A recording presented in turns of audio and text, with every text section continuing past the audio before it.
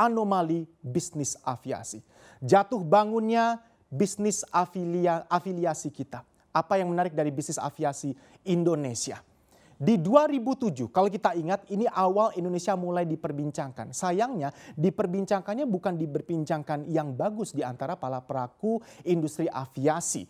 Di 2007 kita pernah di-ban, mendapat larangan terbang, reputasi buruk sempat dialamatkan ke industri aviasi kita. 2007 maskapai-maskapai penerbangan kita dilarang untuk terbang di atas daratan benua Eropa dan juga Amerika. Ini tentu saja membuat tingkat kepercayaan internasional juga semakin menurun.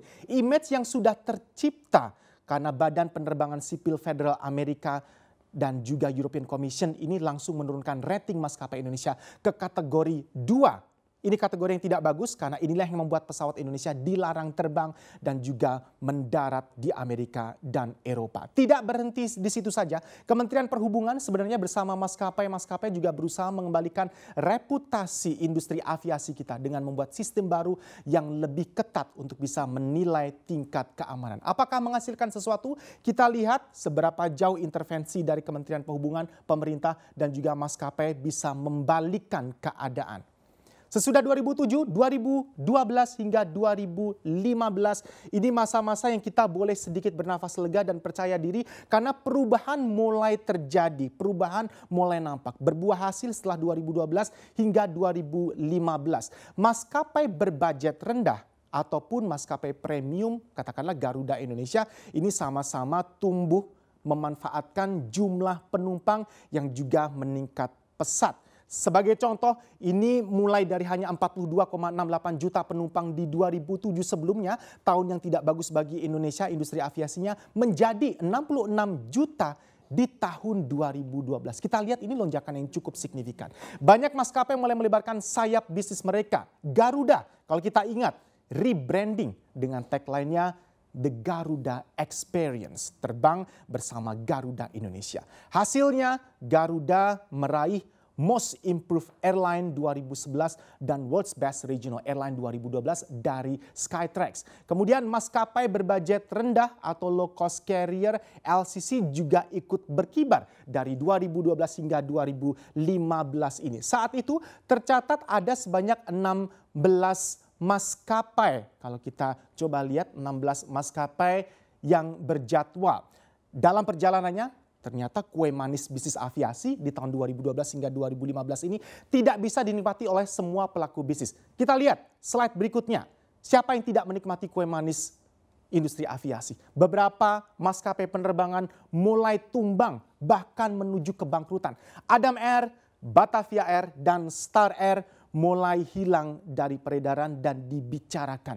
Ini semuanya timbang. Ironisnya saat beberapa maskapai bangkrut, banyak justru industri pendukung dari aviasi yang berkembang pesat. Kita lihat ini ada ACS Aerofood milik Garuda Indonesia yang melayani puluhan maskapai tidak hanya dalam negeri tapi luar negeri juga. Kemudian ada bisnis perawatan pesawat seperti Garuda Maintenance Facility GMF yang akhirnya juga ikut IPO. Ini semuanya memperoleh pengakuan dari FAA Amerika.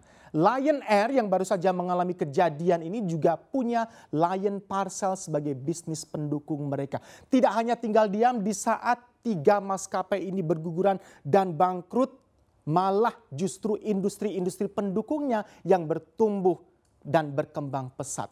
Industri utamanya yakni penerbangan kalau kita lihat ini justru jatuh bangun. Harga aftur kita lihat harga aftur menjadi tekanan besar terhadap keuntungan dari maskapai. Ini mulai dari 40%, 50%, bahkan 60% kalau kita lihat operational cost tersumbang dari harga aftur. Ini tentu saja yang membebani mereka. Bagi maskapai LCC, biaya aftur memberi kontribusi 42%. Sehingga wajar saja ketika harga minyak bergejolak menjadi pukulan yang berarti. Sayangnya banyak maskapai yang tidak terbuka dalam hal laporan neraca rugi labanya. Indikasi maskapai merugi ini bisa dilihat dari adanya rute yang gemuk tapi ditutupi. Kita lihat apakah anomali ini masih akan berlanjut menjadi sebuah anomali saat kemajuan aviasi bisa diraih Yang menikmati justru industri pendukungnya. Seperti tadi kami sampaikan ada catering, kemudian ground handling. Sementara industri dasarnya maskapai penerbangannya sendiri justru dalam tanda kutip kembang kempis.